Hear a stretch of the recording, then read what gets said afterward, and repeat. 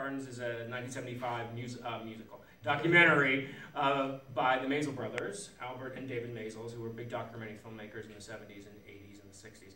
And um, Jerry Torre here, my friend here, who co-wrote the book The Marble Fawn of Grey Gardens with me, was um, a friend of these two eccentric women, Mrs. Edith Bouvier Beale and her daughter Edie, who were direct relations to Jacqueline Kennedy.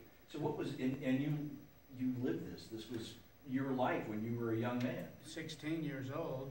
I had been an assistant gardener on Lily Pond Lane in East Hampton, and my chores were light and easy to take care of.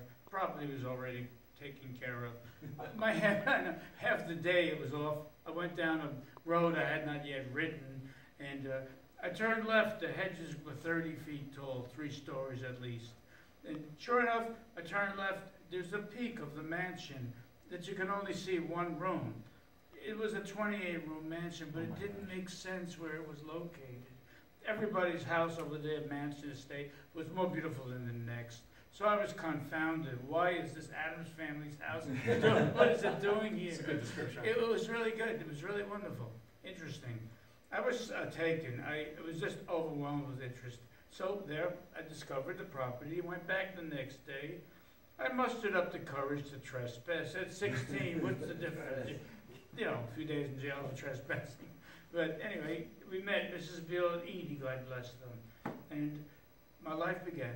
So, but these folks lived a very different lifestyle than everybody else on. Oh yes, yes, absolutely. It was it, that, that's what's so fascinating. I think one of the reasons that it, it's the film has fascinated people for generations is because of the dichotomy of these of these scions of aristocracy. I mean, they were Bouviers. They Right. were Jacqueline Kennedy's aunt and niece. They were, they were truly you know, the, the definition of high society. Exactly, exactly. And they're living in absolute squalor in one of the most beautiful, uh, affluent areas in the country. And so when Jerry says it was an Addams family house, it's a great description because you're driving along and you see one more beautiful house after the next, after the next, and then there's this haunted house in the middle of it.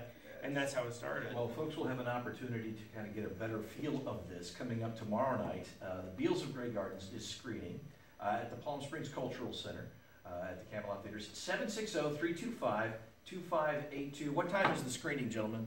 Six, six o'clock. Perfect, that's great.